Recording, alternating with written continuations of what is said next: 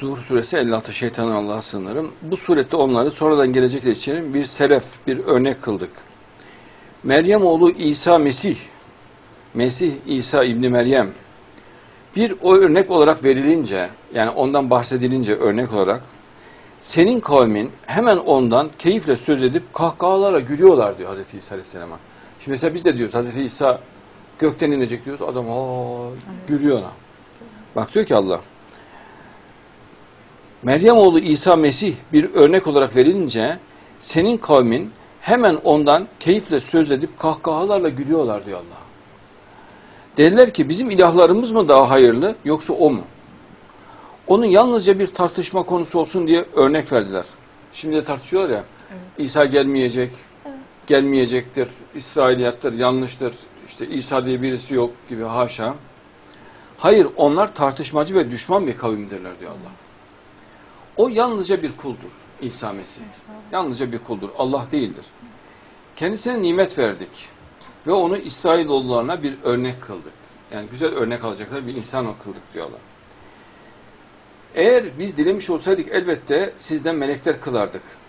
Yeryüzünde size halef yerinize geçenler olurlardı. Yani diyor ya cübbeli melekleri inecek diyor. Evet. Biz dileseydik diyor. Elbette sizden melekler kılardık yeryüzüne. Size halef yerinize geçenler olurlardı. Yani insan yaratmazdım, melek yaratırdım diyor. Tabii. Ama ben insan yarattım diyor Allah. Evet.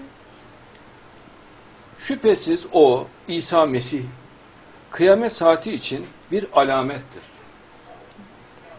Öyleyse ondan yana hiçbir kuşkuya kapılmayın. E biz de bir kuşkuya kapılmıyoruz. İnşallah. Ve bana uyun, dost doğru yol budur.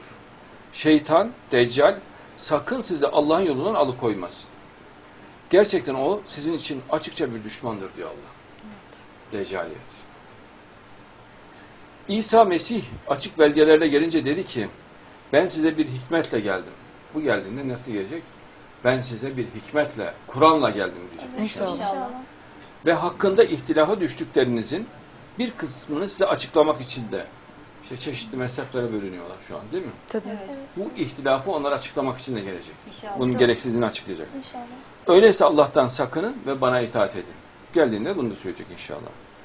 Şüphesiz Allah, o benim de Rabbim, sizin de Rabbinizdir. Şu halde ona kulluk edin, dost doğru yol budur. Bak ne diyor Hazreti İsa Mesih? Şüphesiz Allah, o benim de Rabbim, sizin de Rabbinizdir. Evet. Benim de Allah'ım, sizin de Allah'ınızdır. O halde ona kulluk edin, Allah'a kulluk edin, bana değil. İnşallah. Ona kulluk edin. Evet. Dost doğru yol budur diyor. Sonra içlerinden bir takım fırkalar ihtilafa düştü. Ahir zamanına doğru sapıtacaklar. Artık acı bir günün azabından vay o zulmetmiş olanlara kıyamet. Evet inşallah.